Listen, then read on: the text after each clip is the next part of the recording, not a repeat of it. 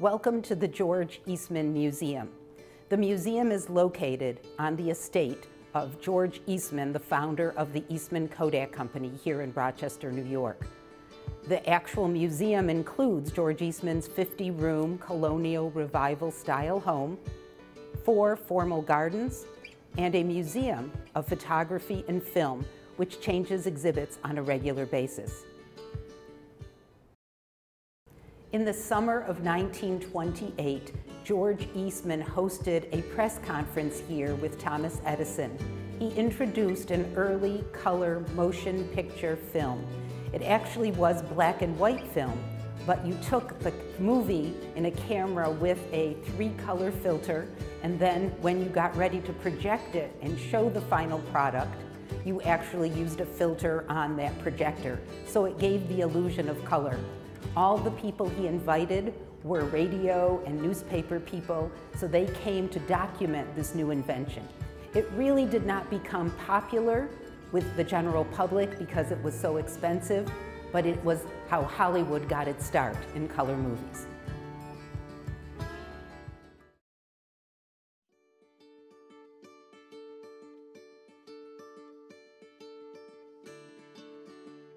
We are standing in George Eastman's dining room.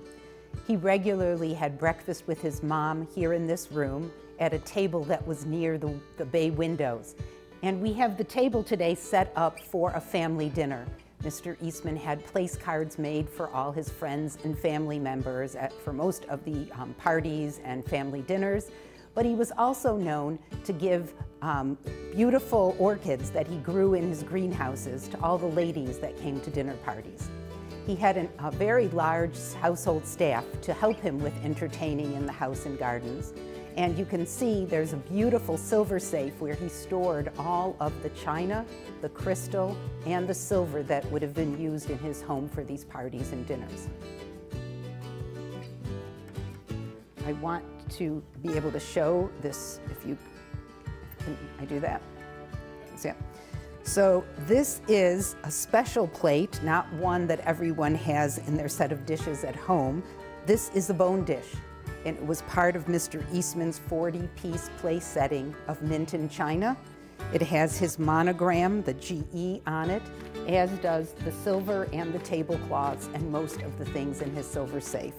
This would have been used right at the top of the plate to collect the bones from fish or chicken or turkey or fowl during any of the meals.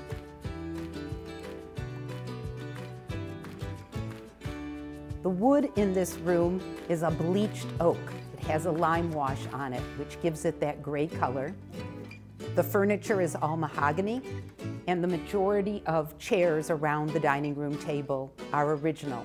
We have made some reproductions so we could have a set of six or eight when we set the table each week.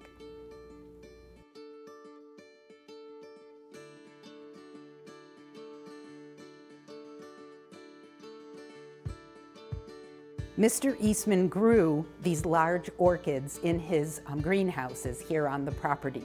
And when he would have his luncheons with his lady friends called the Lobster Quartet, he would give each one of them one of these orchids to wear.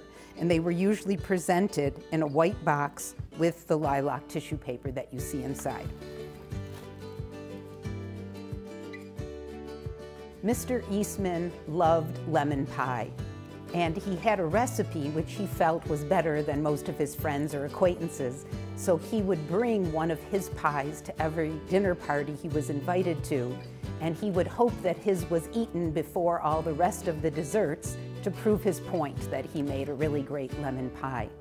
We have the pie here in this room on one of his original cake plates that actually has been returned to the museum from his relatives who inherited the set after the Drydens' death and Mr. Eastman's death.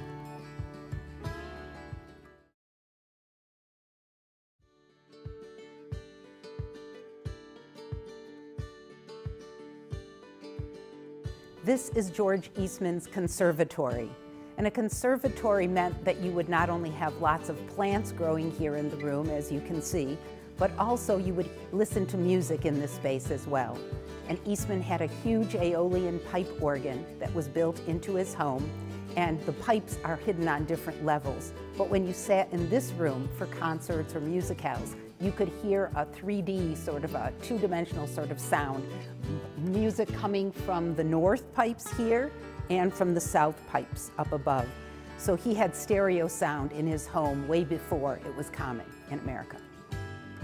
In addition to that, as you can see, Mr. Eastman loved to hunt. The big elephant that's right behind us is a reproduction elephant, but it matches the one George Eastman brought back from his safari in 1928 to Africa. In addition to having parties here, Mr. Eastman had this lovely wicker furniture that he could move out to the gardens from this room and set up different little chairs for his concerts, but it was also a room he could dance in and have balls in as well. In addition, the beautiful grill work that's along the north wall here was created by Samuel Yellin from Philadelphia, Pennsylvania. He's known for doing a lot of the grill work at um, the Grand Central Terminal and in other museums like the Smithsonian.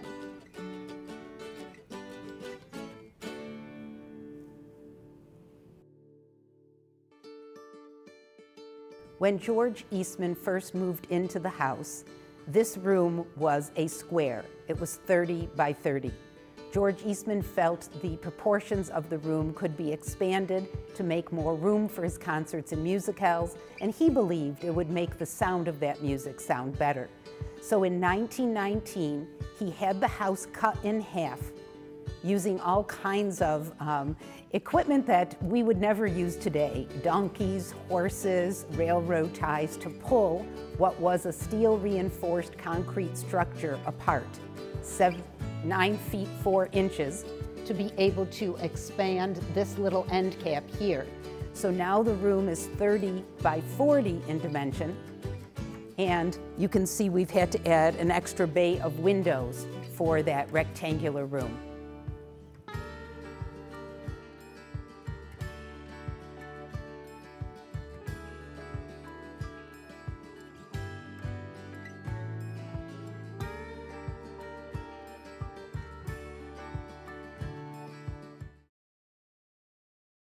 George Eastman lived in this house with only one other person, and that was his mom, Mariah Kilbourn Eastman. She lived with him from 1905 till 1907. And when they first moved in, she had fallen and broken her hip and was confined to a wheelchair. So what should have been a dumb waiter to take food up and down the different levels became an Otis elevator that we still use today. It allowed her to get in in the wheelchair and get to the second and third floors of the mansion.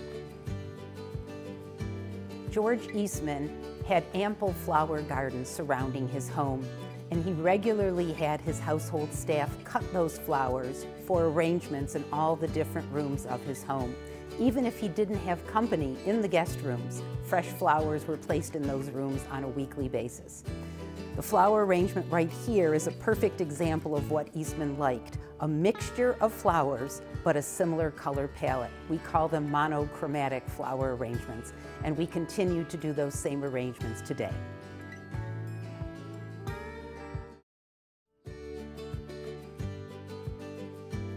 This is George Eastman's billiard room. The walls in this room are all teak that have been brought in from Burma to decorate this room, as are the floors. Many people refer to the floors as like the decks of a ship with all the bow ties. Mr. Eastman loved to have friends over for a game of billiards before dinner or before some of his Sunday musicals. The billiard table here in the room is not his original but it is from the home of his lawyer, Mr. Hubble, down the street, and he did play on that table when both of them were alive. We also have a, a pool cue rack and ivory balls that were used in that time period to play the game of billiards. And Eastman loved cards. So we have a card table in the room that could open for four to six people to play poker or gin or contract bridge, which was another game that he enjoyed.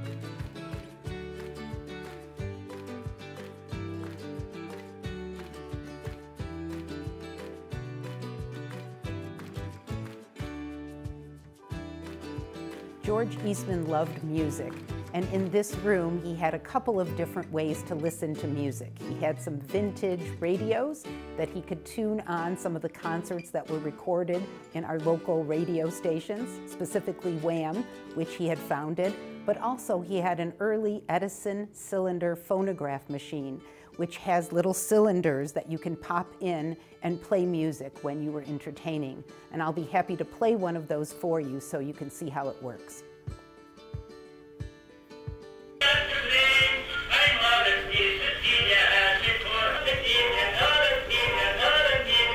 George Eastman loved to travel, and he traveled all over the world during his lifetime.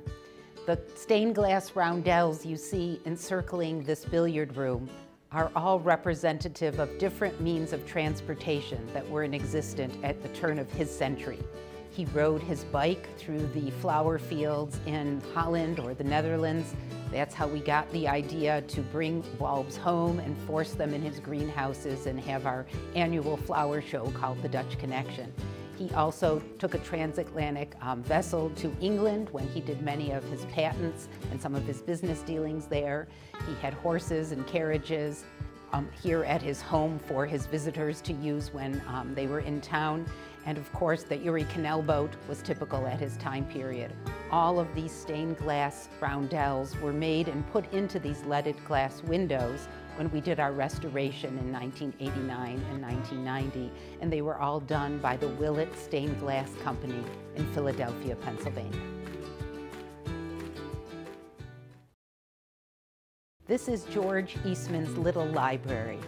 Many joke that they would all love to have a library like this in their home. When Eastman first moved in, this was a rece receiving room. You had to receive your guests before either a concert or dinner because it was during Prohibition where one could not have an alcoholic drink before the particular event that you were invited to. But in 1926, after Prohibition ended, Eastman was able to turn that reception room into his little library. And he had two local librarians from the University of Rochester come here, organize and catalog his books. We actually have small little card catalogs like you'd find in a public library. They're all hidden in the little drawers beneath the bookshelves. And it tells you exactly where each book in his collection would be located. Every shelf here has a letter of the alphabet. It starts with A, and in this room goes through P. It continues in the living room on the other shelves with the rest of his book collection. We have probably about 85 to 95% of his books, original ones, back in the collection today. Many of them have come back to us from relatives and family members who inherited them at his death, and some of them came from the University of Rochester, as the presidents of that school lived here for about 15 years after George Eastman's death. This is one of George Eastman's original books from his collection, and if you open it, you can see the black and white book plate that George Eastman had created for each of the books in his library.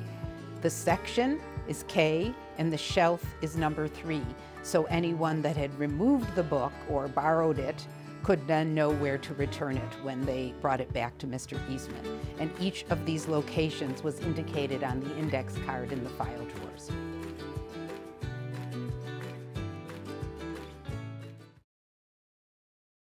So we are standing in the front hall of George Eastman's home. And even though he had this most glamorous entrance, most of his friends and family did not use this door to come to the house. They used the back door or the side door under the porte cochere. This is a perfect place to talk about George Eastman's 35,000 square foot home, colonial revival in style, with 15 bedrooms, 13 bathrooms, and nine fireplaces. Most of the guest rooms, bathrooms, and sitting rooms were up on the second floor. And on the third floor, George Eastman had his own darkroom where he could process his own photographic prints, his own workshop with all of his tools where he could prepare all of his camping equipment for many of his trips. And it was also, the third floor was where the household staff that lived on site had their rooms with a shared bath. So it was a very busy house with lots of staff um, constantly working here, keeping it clean, keeping fresh flowers, as well as serving all of the different guests that he hosted throughout his time period.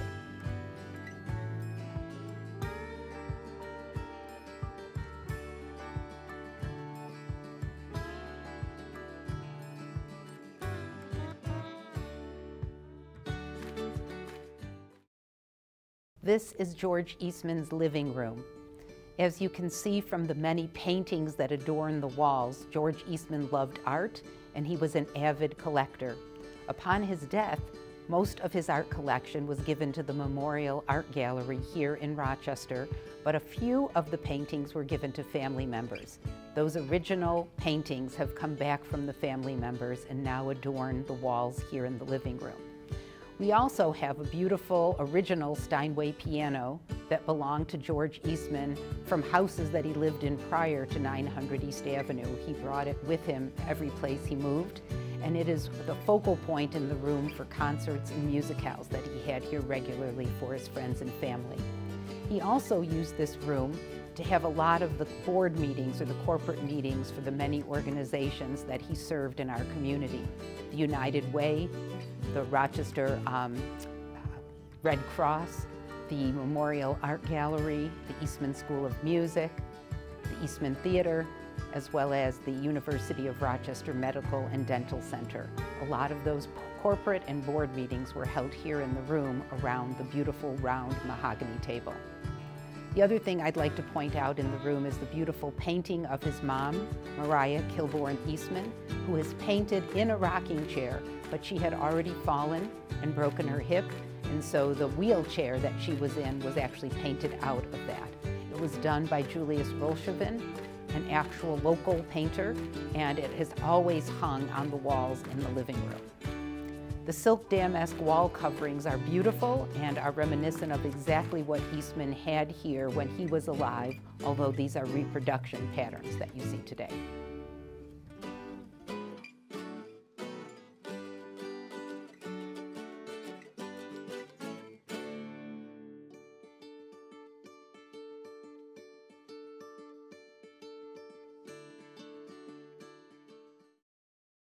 We are standing on the second floor of Mr. Eastman's home.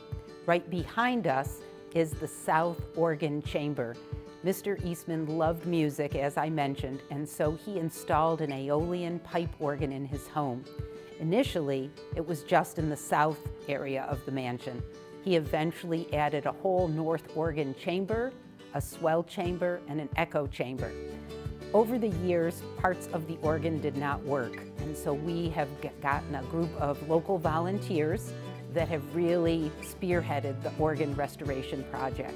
It is kept in tune by the Parsons Pipe Organ Company in Canandaigua, but we have the organ volunteers here every Monday actually doing work and preparation to get all of these pipes playable again.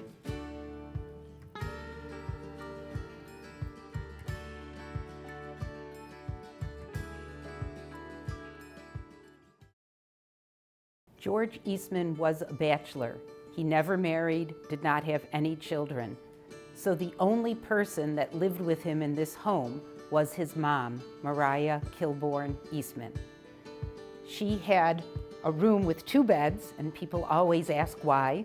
It was because she was in her 80s when she lived in this house, and she was ailing. She had a lot of bronchial problems, pneumonia, Many times her granddaughter came to stay with her, which explains the two beds. She also did have a live-in nurse, and the little bell on the table was to ring for the nurse if she really needed some major medical help. Mrs. Eastman was confined to a wheelchair while she was here at George Eastman's home at 900 East Avenue, and so some accommodations needed to be made for her.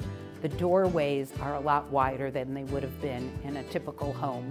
An elevator was installed so she could get up and down the different levels. And in many ways, Mr. Eastman gave her the bedroom with the best view of the gardens so she could see them change seasonally without ever having to go outside. You'll also notice throughout the mansion there are little call buttons. Hers in this bedroom, bathroom, and closet are a little lower so she could reach them easily in her wheelchair.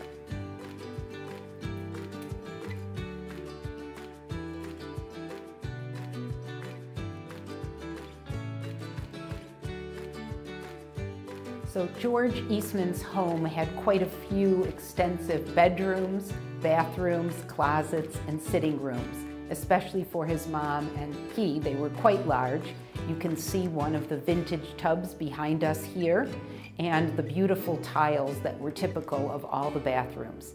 We have outfitted it with the typical linens and medicines of the time period and even some of the vintage night dresses um, and also clothing in the closet.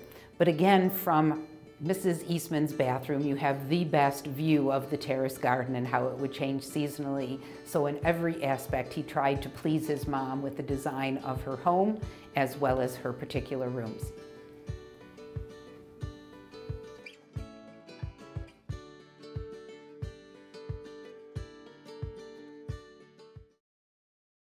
This is um, the sitting room of George Eastman's mom, Mariah Kilbourn Eastman. We've chosen to make it into an exhibit space where we can show some paintings of George Eastman and his family, as well as do some exhibits on George Eastman's life, doing different things from different years, usually looking back a hundred or so years at activities going on in his lifetime. Behind me is a portrait of George Eastman, and it is one of the few of him actually standing up. Almost every painting or photograph made of him was him sitting down, so it's just sort of a shoulder to waist kind of view. And then the two sort of blanking him on each side is his mom, Mariah Kilbourn Eastman, and then his dad, George Washington Eastman. Both of those paintings were painted many years after they had passed away from early daguerreotypes, photographs that George Eastman had on copper of each of his parents. So those photographs were used as a guide and these paintings were made for George Eastman to have likenesses of his parents in his home. The other portrait in the room is of his niece, Ellen Dryden, and she was as close to Mr. Eastman as almost a daughter would be. Um, George Eastman hosted her husband and her and their children regularly here at his home, and he traveled with them extensively, spent many holidays with them in Evanston, Illinois, which was their hometown. Um, it was Ellen and her husband George Dryden that gave the museum the money in 1950 to build our Dryden Theater. It's where we host all of the movies each weeknight at 7.30 for visitors as well as for the general public here in Rochester to come and see vintage and contemporary films.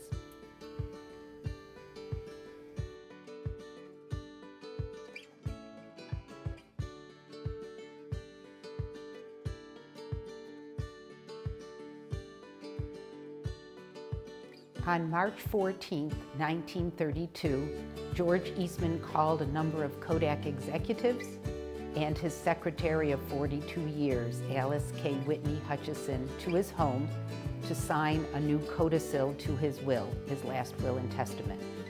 He brought all those people here to be witnesses to, of this signed document, along with his lawyers. After he was done signing the document and chatting with each of the people that were present about their family, their kid at college, the big fish they caught in Florida last year, and if they had had it stuffed or taxidermied now, um, he made it a point to have a conversation with everyone. After people had left, they heard gunshots. There were two or three people left in the room, and George Eastman had taken his own life after he did what, in my mind, was his final act of philanthropy, deciding who would get the bulk of his estate. Not only his family and friends and people that had worked for him over the years at his home, but also the University of Rochester, which he felt was a key organization in our community that raised the level of the education for our local people and also attracted the people he needed for his company.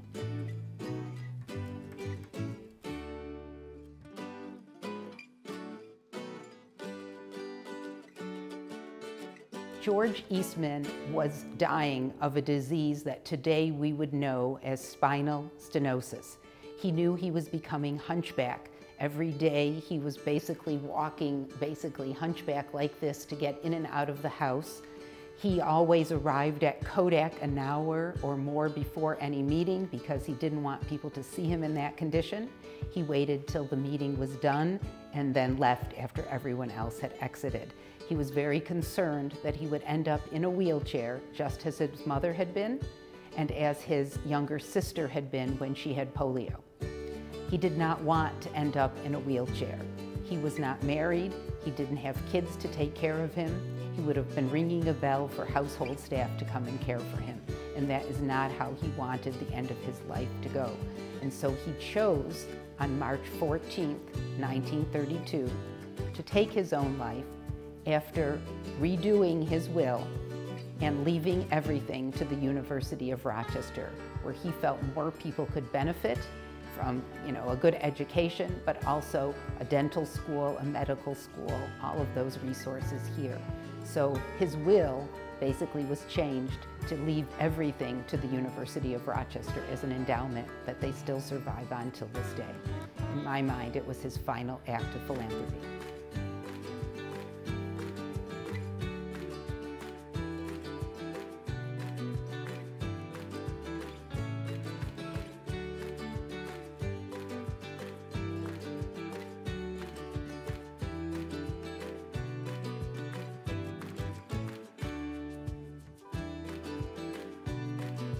Though George Eastman was a bachelor, he always managed to surround himself with beautiful women.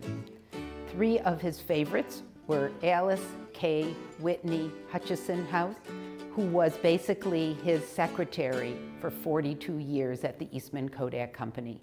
She ran the company in his absence when he traveled. He was really, um, he considered her a confidant and somebody very responsible in his absence. The other one is a close friend, Mary Durand Mulligan.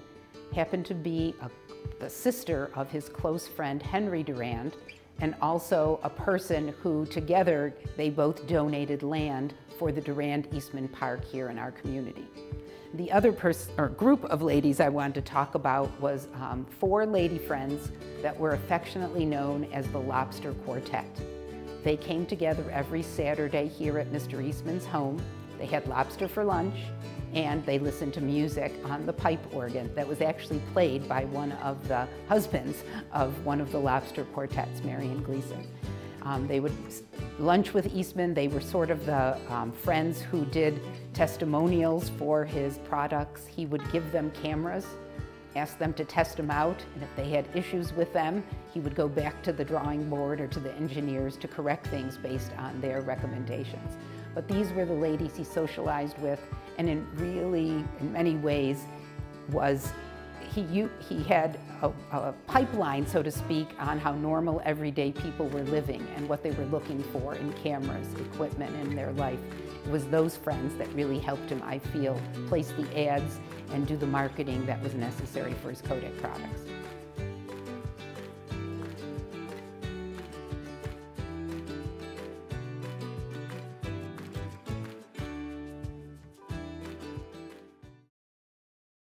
Mr. Eastman made his fortune in the photographic industry. And to, as an example, we're standing here in the Kodak camera gallery. This was a camera that the Kodak company came out with in 1888. It was considered totally automatic at the time. You had to be able to just hold the camera up, sort of breast high, pull up the little thing to take the picture, press the button, and then turn a crank at the top to advance the film. If you did all three steps correctly, right, you had taken one photographic image. The camera came loaded with enough film to take 100 photographs or 100 images. He gave you a little notebook and a pencil so you could keep track of every one of those exposures so you'd know when it was time to take your camera, put it in a big sort of wooden box and mail it back to the Eastman Company here in Rochester, New York, which at the time was the only place that could process your film for you. Eventually, Eastman created the photo finishing industry, so no matter where you lived and bought his film and his product, you could also process that film there as well. But that camera and its automatic nature, because you no longer had to process your own film, really revolutionized the photographic industry and the Eastman Kodak Company's business.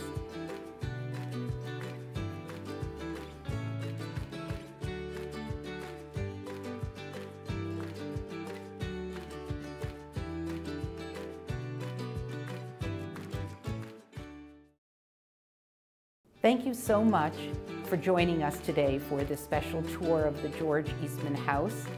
I encourage you, if you have questions or want to learn more about Eastman, his company, or his home and gardens, that you contact the people in the George Eastman Archive and Study Center and make an appointment to do some research yourself. Thank you.